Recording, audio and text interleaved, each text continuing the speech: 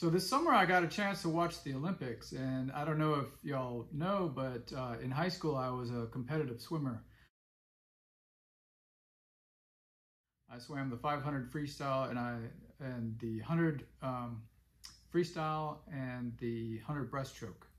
When I was in high school, the fastest stroke was freestyle and that was followed by butterfly and that was followed by backstroke and then the the slowest stroke was, was breaststroke.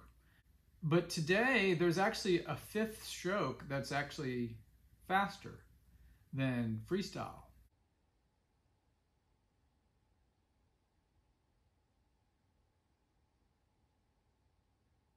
And I'm going to go over that in this video. What is that new stroke? So let's talk about freestyle. Freestyle is um, one arm at a time, and the recovery of the arm is out of the water. So there's one stroke and then there's another, and you're, you're rotating your shoulders.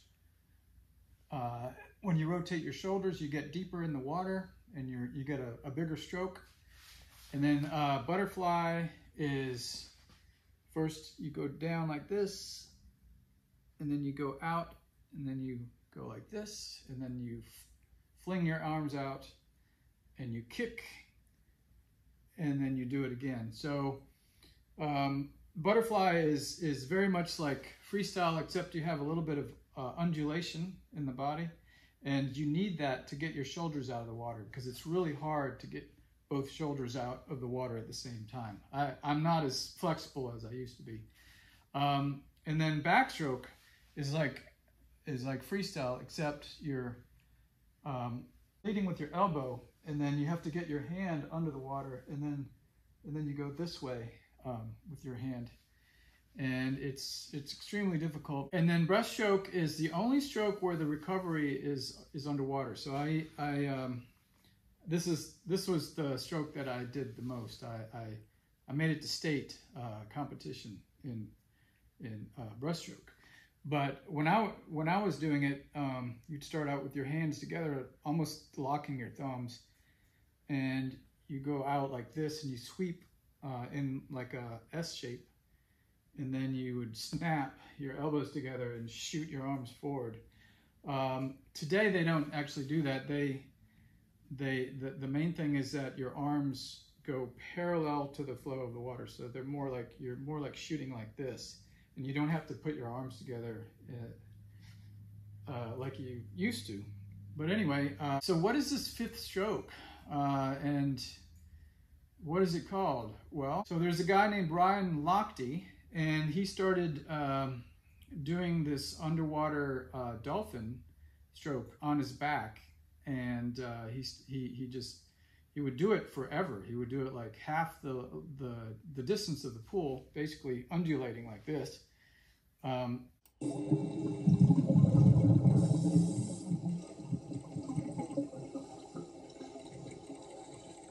and he would he would win all his races. So uh, they actually made a rule and they limited the distance in which you can do a dolphin kick uh, to 15 meters off the wall. So you have to pop out of you can't be underwater after 15 meters. You you have to pop out of the water, and um, so like now the best swimmers in the world are doing dolphin kick for, for as long as they can, that 15 meters. And they figured out how, how many strokes they can do before they have to pop out of the water uh, and not get DQ'd. So it's very interesting to me that when you analyze the strokes, um, with the frog stroke, you know, you're, it's kind of like, you know, that's, that's basically what, what frogs do. That's what um, uh, ducks do with their feet. So the ducks, they, they, their, their feet, they increase the surface area with their feet and then they, they basically fold in half and go forward and they go like this. So it's the same thing, but there's always an underwater forward motion uh, of the foot. And so that's not very efficient. Um, and so when you analyze the hand, the hand is kind of like a paddle and the, the hand is almost like it's complete drag. So basically what you're doing is you're going like this.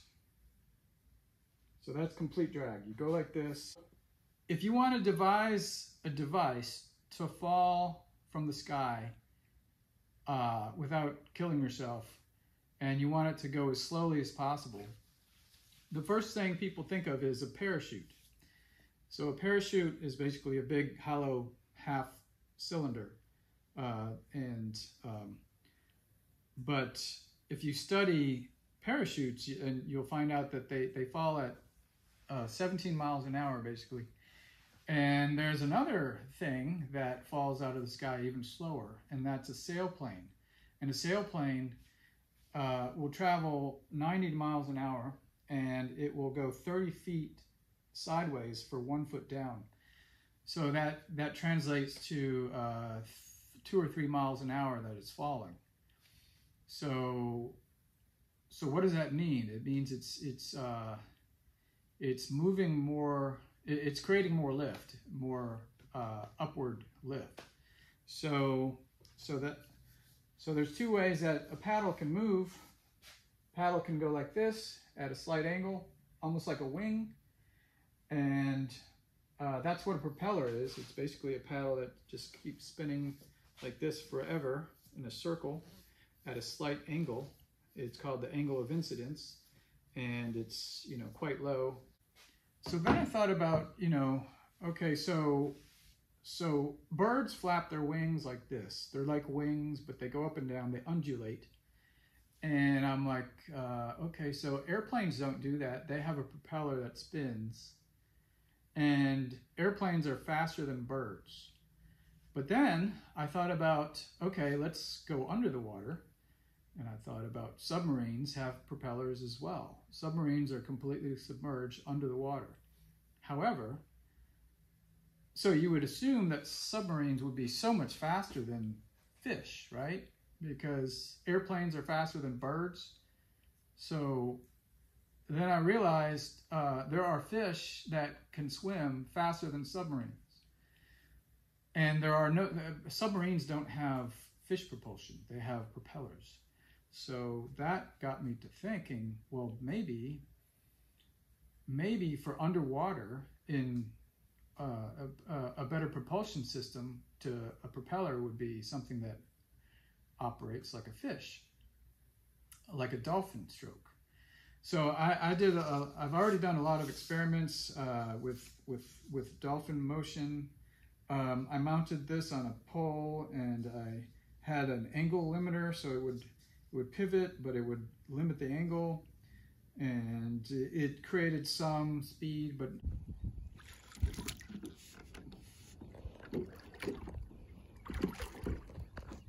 Nice!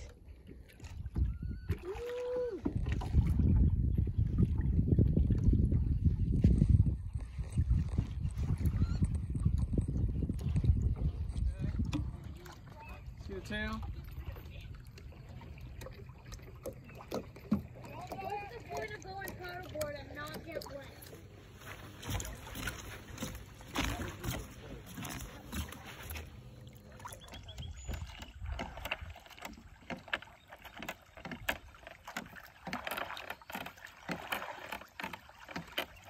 I was like, um, this is not as fast as, you know, two, two big long oars. So I was like, well, why?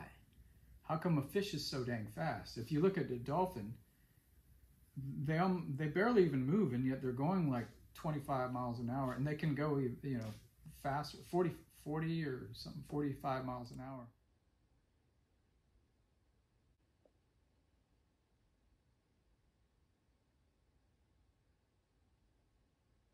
And then there's tuna, and then there's sailfish and marlin that go a whole lot faster than that. They go like, I don't know, like 60 miles an hour or something crazy.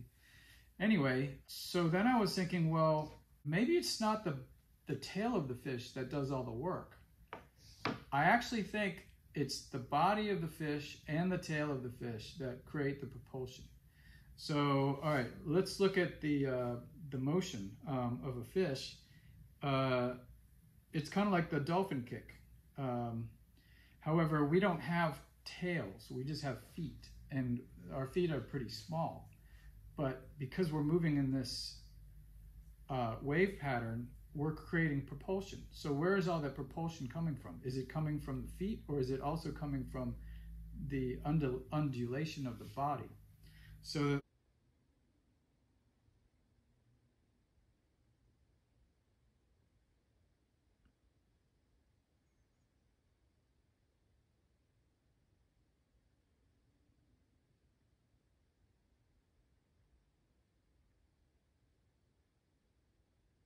So that is the idea that I am pursuing that um, there could be something faster than a propeller underwater to propel uh, a watercraft. Um,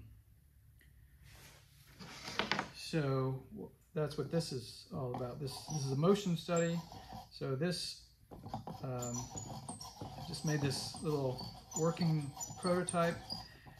Imagine if this was the shape of a, a dolphin basically and you'd have a tail here and it would have a flexible connection and then you would have also a smaller fin in the front the, the like the, the the front fins of a dolphin which they move but they don't move as much.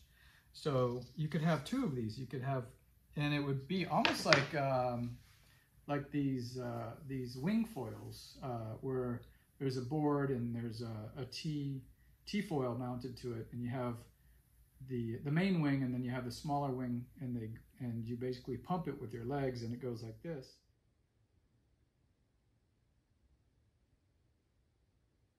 So that was the idea behind this is um, you could attach pedals to this and um, and you could depending on how you gear it you could get, really get this going really fast almost as you know as fast as what a fish would do and I studied the uh, the rates, uh, the undulations per minute of fish, and they're quite astounding how fast they move.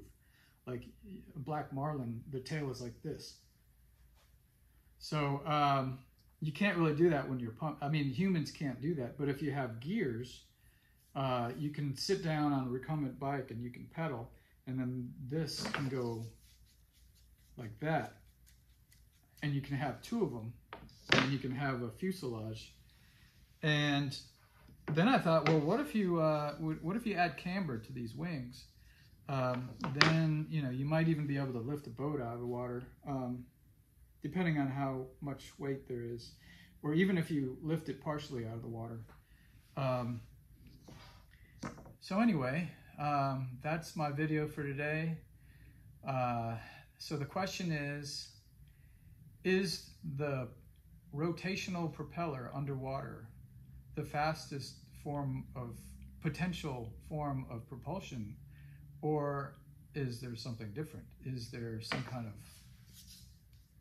fish motion that could be mimicked?